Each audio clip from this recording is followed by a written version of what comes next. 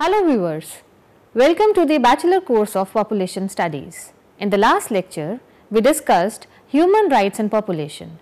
Today, we will discuss about the uneven access to human rights in world population. The formal expression of inherent human rights is through international human rights law. A series of international human rights treaties and other instruments have emerged since 1945 conferring legal form on inherent human rights. The creation of the United Nations provided an ideal forum for the development and adoption of international human rights instruments. The UN General Assembly proclaimed 10th December as Human Rights Day in 1950 to bring attention to the Universal Declaration of Human Rights as the common standard of achievement for all peoples and all nations.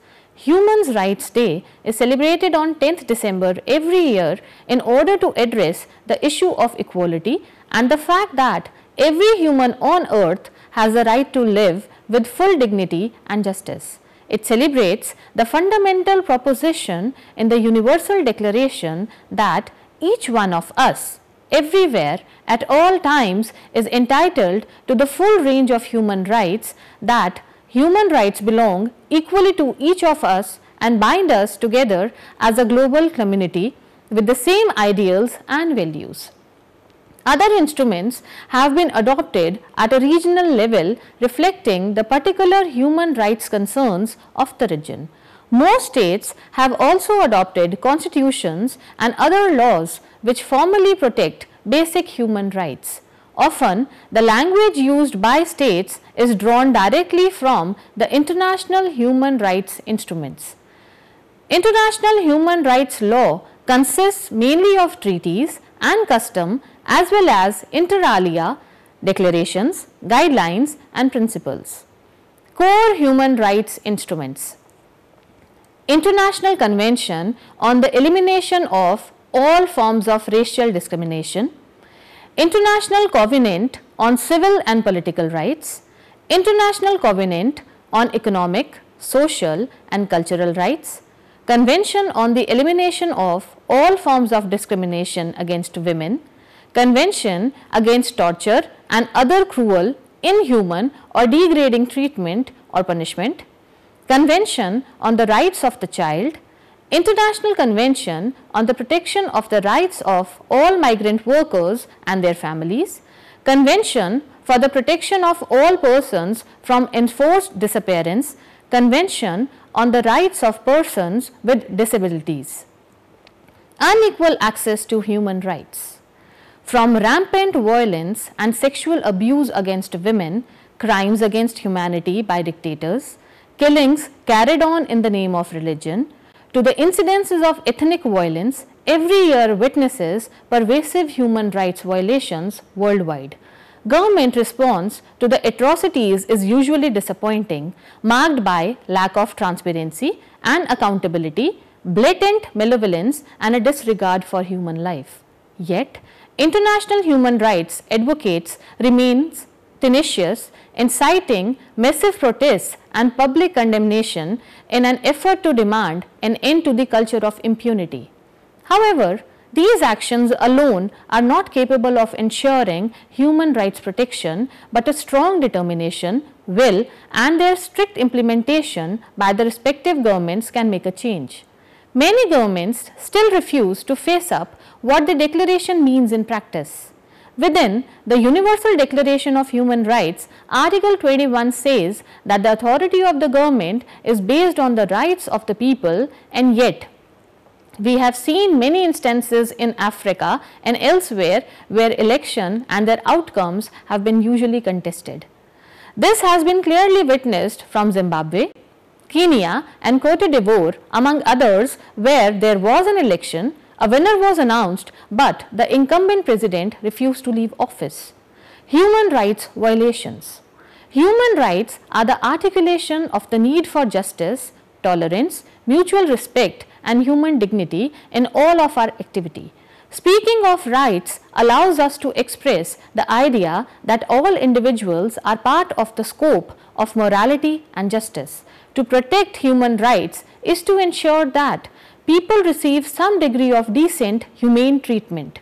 To violate the most basic human rights on the other hand is to deny individuals their fundamental moral entitlements. It is in a sense to treat them as if they are less than human and undeserving of respect and dignity. Examples of acts typically deemed crimes against humanity include genocide, torture, slavery, rape, enforced sterilization or medical experimentation and deliberate starvation.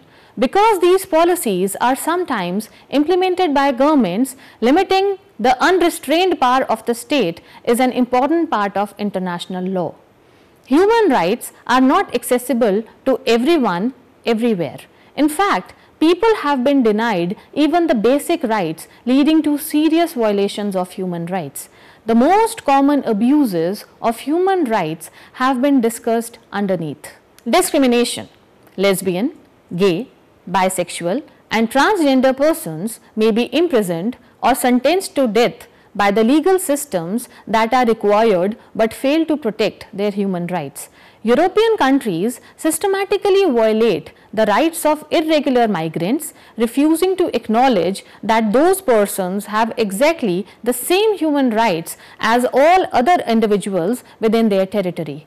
Australia goes further, forcing irregular migrants into a pseudo prison camp in a nearby country. Inequality Women continue to be denied their rights in many parts of the world particularly in Islamic countries where they frequently are treated as property rather than as humans. Even in global north states such as Ireland and the US, women's rights to health and to life are violated through legal or practical restrictions on abortions and reproductive health. Race and religion remain primary grounds for discrimination whether against the Roma in Europe, the Aboriginals in Australia, Jews in Arab countries, Palestinians in Israel, the Tamils in Sri Lanka and the non-Muslims across parts of the Islamic world to name just a few examples. Torture The US Senate report on the CIA and torture released makes it clear that the US has systematically violated the prohibition against torture. Despite the report being made public, US politicians, security service personnel and commentators are defending the CIA's right to torture individuals. The report also notes the other countries that were complicit in or partners to those practices. When global north countries that hold themselves out as bastions of liberalism are willing to practice torture, then how can those same states criticize emerging democracies and non-democratic countries for doing the same? Slavery Slavery continues to exist whether through state laws or through their practices. It is estimated that there are 27 million people in the world today who are enslaved. Qatar was originally accused of enabling slavery through its laws requiring all migrant workers to surrender their passports to their employers. Failure to identify and protect victims of human trafficking who are forced into the sex industry or as unpaid workers to repay their traffickers has created a modern day slavery to which so many countries turn a blind eye.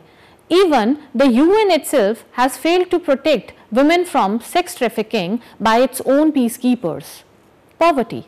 The right to life may be respected by countries that protect people from arbitrary or extrajudicial killing, but the right to life goes hand in hand with subsistence rights.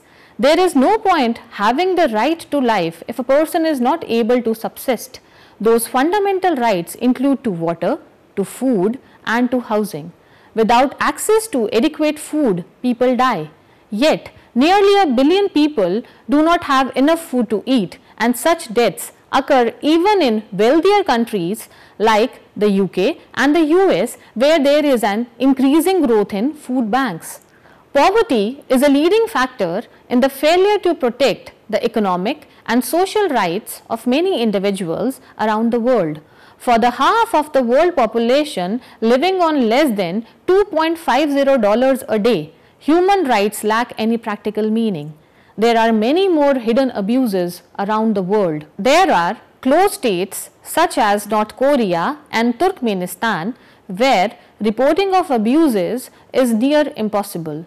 There are oil rich countries in the Gulf whose power lies in barrels of golden goodness required by the rest of the world. And then there are powerful states that flex their political and economic muscles to ensure that their abuses are ignored. China systematically violates the rights of its own citizens as well as individuals in occupied Tibet and annexed Taiwan and Russia behaves however it wishes within its own region completely ignoring the rights of persons in Ukraine this year and at other points in Chechnya, South Ossetia, Georgia and others. Some of the recent incidences of human rights violations that have occurred across the world have been listed below. The brutal executions of innocent people by the deadly Islamic State militants who continue to wreak havoc in northern Iraq and Syria after swallowing a swath of land which they arbitrarily call a caliphate are the gravest crimes and human rights violations. The crimes perpetrated by the deadly jihadist group are the most gruesome in recent memory and include rapes and torture of women and children as well as mass executions and filming the act of beheading western hostages. Secondly, female applicants to Indonesia's national police had to go through a mandatory virginity test in 2014 which the authorities require women and not men to undertake as part of the application process. Third, in 2014, Reyhaneh Jabbari 26 was hanged by an Iranian court for the 2007 killing of a man who had tried to rape her. The case has become a symbol of the worst human rights violation in Iran. Fourth, China has been infamous for using the organs of executed prisoners for transplantation. There is curtailment of free speech and media in the country and those who protest are persecuted and even executed in China. Under pressure from the human rights activists, China recently said that it would stop the practice. Fifth, on the first anniversary of the election of President Mohammad Morsi on June 30, 2013, thousands of Egyptians took to the streets in Tahrir Square in Cairo demanding the dictator's resignation. During the four days of protests, at least 91 women were attacked and sexually assaulted by mobs while government leaders and police stood by and failed to intervene. Some women required extensive medical surgery after being subjected to brutal gang rapes and sexual assault with sharp objects. Sixth, while there were increasing wins for gay rights around the globe in 2013, including a number of US states, LGBT rights took a major step back in other parts of the world. Uganda abolished the death penalty as punishment for having gay sex but it passed an anti-gay law punishing aggravated homosexuality with life imprisonment. The new provision drew international criticism by gay rights activists particularly after Uganda's parliament expressed that the anti-gay law was a Christmas gift to all Ugandans. Meanwhile, India's Supreme Court reinstated a ban against homosexuality making gay sex a criminal offence prompting human rights groups to file a petition seeking a review of the decision on the grounds that the law is unconstitutional. Russia's anti-gay laws also came under fire for a bill that banned propaganda of non-traditional sexual relations. Seventh, women's rights suffered a massive blow in Afghanistan in 2013 Cases of violence against women grew by 28 percent and females continued to be treated as second class citizens. President Hamid Karzai backed away from government plans to implement a controversial law reintroducing public stoning as punishment for adultery after the draft law was leaked causing international outrage. Women's rights groups condemned invasive vaginal examinations women are forced to undergo to ascertain virginity every time a girl is arrested on a morality charge. Eighth, Post independence, South Sudan was stricken with internal conflict in 2013 resulting in extrajudicial killings and numerous human rights atrocities. While Sudan's north is home to mainly Arabic speaking Muslims, South Sudan has no dominant culture. Instead, it is home to some 200 ethnic groups, each with its own beliefs and language. In a recent spate of ethnically motivated violence between the two largest ethnic groups, the Dinkas and the Nuers, security forces shot and killed more than 200 people in the capital Juba. Almost 1 lakh people have been displaced as a result of the violence. Ninth, the precarious situation in the Middle East between Palestinians and Israelis led to a number of gross human rights violations committed by Israeli soldiers against Palestinian children. A UNICEF report revealed that in the second quarter of 2013, 700 Palestinian children aged 12 to 17 were arrested and subjected to solitary confinement, threats of death and sexual assault by Israeli military and police in the occupied West Bank. Unfortunately, innocent children are also not spared and they face one of the worst forms of human rights abuses. Youth for Human Rights International maintains that children who do not know their rights are vulnerable and easy prey for ill-intended individuals. Statistics of loss of dignity and life through child abuse, gang violence, child labor and child soldiers are staggeringly high. Measures against human rights violations. International humanitarian law has been enacted to preserve humanity in all circumstances even during conflicts. Such law creates areas of peace in the midst of conflict imposes the principle of a common humanity and calls for dialogue. It rules out unlimited force or total war and seeks to limit the use of violence in the hopes of maintaining the necessary conditions for a return to peace. Various international committees are in place to monitor compliance with human rights standards and report any violations. When breaches do occur, they are brought to the attention of international tribunals or tried in an international court or war crimes tribunal. But conflict sometimes progress beyond the state at which international law can help. As the number of victims grows and more individuals are taken prisoner, tortured or executed, it becomes more difficult to resort to the legal path. In addition, it is often difficult to reconcile the safeguarding of human rights with conflict resolution. Many peacekeeping and conflict prevention initiatives have failed both to protect human rights and help the parties towards conflict resolution. In part, this is due to the fact that while wars between states have diminished, wars within states have escalated. Many internal conflicts involve a surge in organized violence, genocide, crimes against humanity and aggression against civilians have become a central part of warfare in these internal conflicts. Such violence often arises out of identity issues, in-group, out-group dynamics and attempts of one ethnic and religious group to gain and maintain political control and to exclude other groups. Such conflicts are often not fought over principles or ideas, but rather focus on differences. The outsiders are dehumanized making human rights violations such as severe discrimination or ethnic cleansing all the more psychologically feasible. Thus, attacks on human rights are often at the very heart of these internal conflicts. In response, public authorities must regain control of organized violence. This means a re-establishment of the rule of law and a rebuilding of trust in public authorities.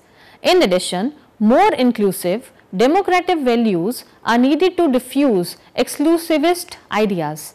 In the face of such violations, leaders must champion international legal norms and human rights. These human rights norms are central to the maintenance of civil society and necessary for grounding attitudes of tolerance and mutual respect within communities. Serious difficulties arise, however, when those in power are responsible for human rights violations. In this case, outside intervention is necessary to stop the abuse. In the last, we can conclude that significant challenges to promoting human rights norms remain however. To begin with, the umbrella of human rights is massive.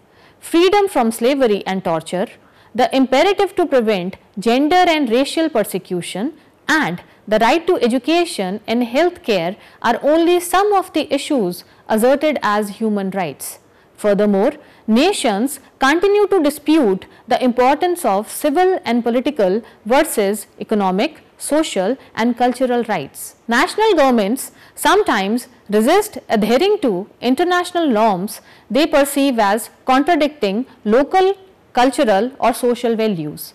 Western countries, especially the United States, resist international rights cooperation from a concern that it might harm business, infringe on autonomy or limit freedom of speech.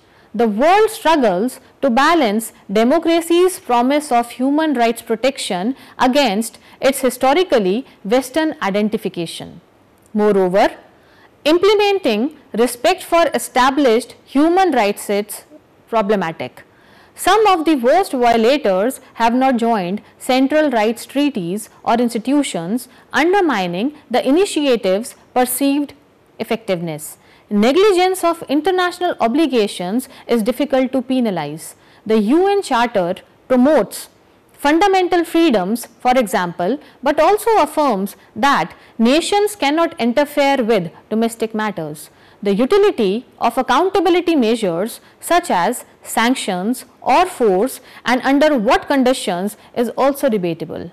At times, to secure an end to violent conflict, negotiators choose not to hold human rights violators accountable. In the long term, strengthening the human rights regime will require a broadened and elevated human rights architecture a steady coalition between the global north and south to harmonize political and economic rights within democratic institutions will also be necessary.